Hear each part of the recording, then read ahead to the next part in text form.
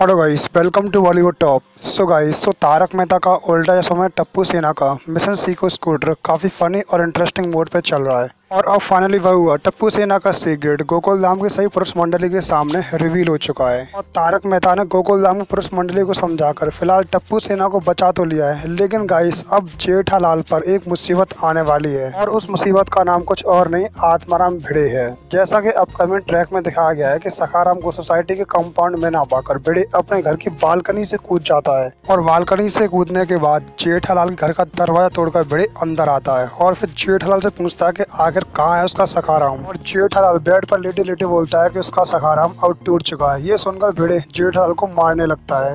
और आखिरकार भिड़े से पिटते पिटते जेठालाल की नींद खुल जाती है सो गाइड जैसा कि आप सभी को पता है कि ये सब कुछ और नहीं, बल्कि जेठालाल का एक सपना है। वो ये सोच रहा है कि आखिरकार सुबह भेड़े उठकर उसकी क्या हालत करने वाला है, जब वो सखाराम को सोसाइटी कंपाउंड में नहीं देखेगा। नहीं तो आपको क्या लगता है, क्या भेड़े इतनी ऊँची बालकनी से कंपाउंड में कूद जाता और क्या आसानी से जेठालाल के घर का दरवाज़ा तोड़ देता? सो गाइड जो अपकमिंग ट्रैक में दिखाया गया वो सब तो जेठालाल का एक ड्रीम सिक्वेंस है। लेकिन गाइस देखते हैं, जब भेड़े को हकीकत में पता चलेगा कि उसके सखाराम का क्या हाल हुआ है तो उसका क्या रिएक्शन होता है। सो गाइस आप बताओ, जब भेड़े को पता कि उसके स्कूटर के साथ क्या क्या हो चुका है? सो उसका क्या रिएक्शन होगा? सो आपको जो भी कमेंट्स और रिव्यूज़ है, अपने कमेंट बॉक्स में लिख के ज़रूर बताएँ।